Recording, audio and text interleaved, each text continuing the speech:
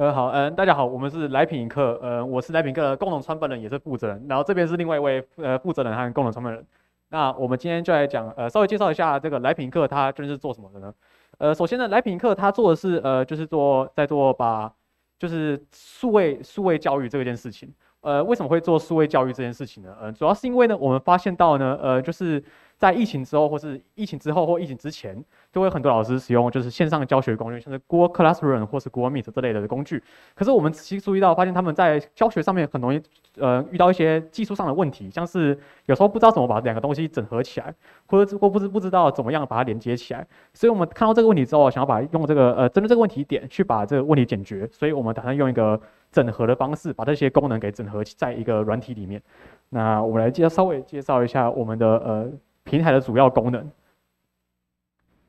呃，我们主要有四大功能，分别为呃班级、课堂、笔记和试题库。那我先来一一来介绍。呃，首先呢，呃，呃，首先呢，班级功能就是指说把一个像是国文课这个班级好了，我就会有一个班级在这里。然后里面会有形式里作业，还有贴文三项功能，就是可以给老师来安排课程，还有给出课程的教材啊，或是安排作业。接下来呢，呃，我们看到课堂，课堂就是视讯上课，就类似我们所谓的 Google Meet。可是我跟 Google Meet 的最大的差别就是我们呃将不同的功能模组化，像是可能是白板功能啊，或是影片播放功能，这样用模组方模组化的方法，呃，插入到这个线上教线上视讯上课的这个软体当中，会让老师比较顺手的去上课这样子。呃，接下来是笔记系统，就是我们希望就是学生在上课的时候可以不用就是一直在软体和硬体之间去做切换，是我们将笔记系统整合进这个视讯上课的软体里面之后呢，大家可以更方便在课堂中做笔记，或是用电子书的方式来呈现，都是一个非常好的方法。呃，这是试题呢，就是提供老师在做测验啊，或是作业的时候，可以提供试题这个功能，就让老师可以自己出题目，或是我们我们可能有机会也会自己去整理一些题目来提供给老师做使用，就是让老师可以更方便去做测验这些事情。呃，接下来就是我们这个专的目标呢，呃，现在的目标肯定是让它更更具完整性，就是说呢，我们现在软体已经有基本的雏形出来了，我们相我们希望更加快我们的开发脚步。让这个软体更呃发展的更完整，然后我们还试着尝试去跟不同的学校的呃嗯的像是校长之类的去谈看看怎么样我们可以做合作的方法来试试看看我们这个软体的使用，大概就这样。那接下来我用影片的方式来介绍我们的开发进度。大家好，我们要来展示目前来品一刻的开发进展。首先点这个登录按钮就能进到 App 中，透过电子邮件注册的账号会收到画面中的这封信，这是为了验证注册者是否为该电子邮件的所有者。验证完之后就可以使用账密登录，此外也可透过其他方式登录，像是 Google 与 Facebook 等。接着迎接我们的画面是总览。这个画面会告知使用者有哪些即将发生的事情，或者一些重要的资讯，就像是汽车仪表板一样丰富。此外，我们还提供多种主题供使用者做切换。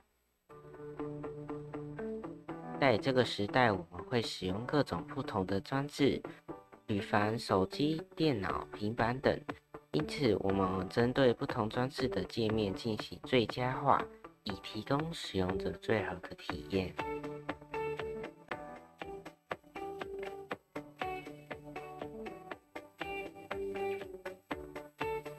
接着，我们要向大家展示正在设计中的内容。这是新的总览画面，加入了快速捷径、影音记录与课程即将开始的通知。除此之外，我们也在针对平量与行事历系统进行设计。稍后会详细介绍。画面中这是新的登录画面，将与整体设计语言统一化，并且新增了一个精致的小知识画面，会依据季节与活动定时更新。登录 Lipolic 学习知识前，也可另外学到更多内容哦。这个则是手机版点开左上角的汉堡式选单会展开的画面。里面可以看到通知设定与常见问题等内容。这就是截至目前设计稿的内容。接下来我们要来简略介绍规划中的功能。来品一课预计有四大主要功能：班级、课堂、笔记、试题。我们选择班级作为最优先实做的功能，因其是使用者互动的中心。图中这是从建立到加入班级的流程规划。我们正尝试如何让界面简洁并好上手。此外，在班级这功能底下会有四大功能。分别是行事历、作业、贴文与评量。我们预计透过模组化的方式设计，让不同地方都能重复利用这些功能。经历数个月的开发，数次的会议，数次的 coding，数次的设计，望未来来品一课能改善线上学习环境。最后，感谢各位的观看，祝大家红兔大展。好，让我们感谢各位团队的发表。接下来看各评审有没有问题要提出。呃，请教团队哈，就是你们现在设计的概念啊，是 based on 那个老师教学生学这种传统典范的概念啊，就是呃，比如。那个 Google Classroom 也是这个概念设计的啊，那你没有考虑到，就是说这个典范正在被时代淘汰中，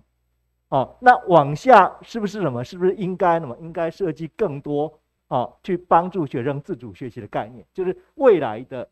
Classroom 是不是比较有更多学生参与课程治理啊，对不对哈？或者群学啊这些元素加进来？啊，那基本差别就是很可能传统是什么？是多生一课表，现在可能已经走到一生一课表。好，那你们有没有考虑过把这些不同的新典范的那个学习概念融到这个软体里面去？谢谢。呃，我想问一个定位上的问题，就是这个平台它的目的上是取代 Google Classroom 还是与 Google Classroom 并行？对，就是呃，对于组织，它可能已经有一些既定的选择方案。然后，如果你要选择选择取代 Google Classroom 的话，其实你的工本会非常大，你要开发的成本也非常高。那我想确定一下这个专案的定位在哪边。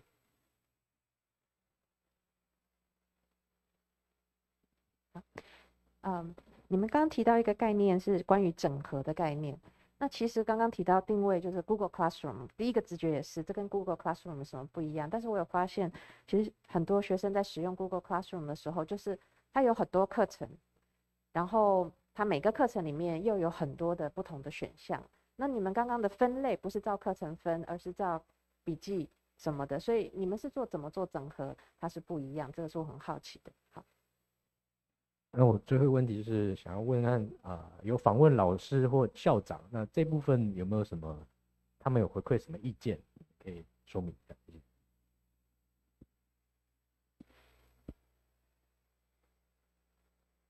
评审的详细提问，请团队针对评审提出的问题进行回答。嗯，好，我从第一个问题回答好了，就是说呢，刚我提到就是我们可能有新形态的教学模式，这个事实上我们是有考虑到，就是说呢，我们可以提供，就是不管不管是不是老师都能够开启的课程，然后使用里面的功能，可以让学生可以互相学习、互助这样的功能。我认为互助是未来很重要的一个技能，这样子，所以我觉得这个应该我们会未来会做更多的整合，然后呃，大概就是这样子。对，所以说，呃，这个应该是没什么问题。接下来我看到就是，呃，我们在是不是要取代 Google Classroom 这个问题，其实，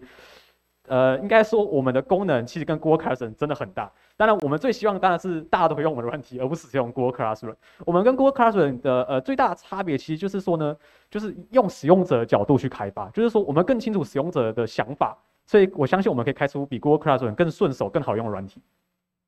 呃，接下来的问题呢，呃，是哦，整合吗？呃，整整合的部分就是指说呢，呃，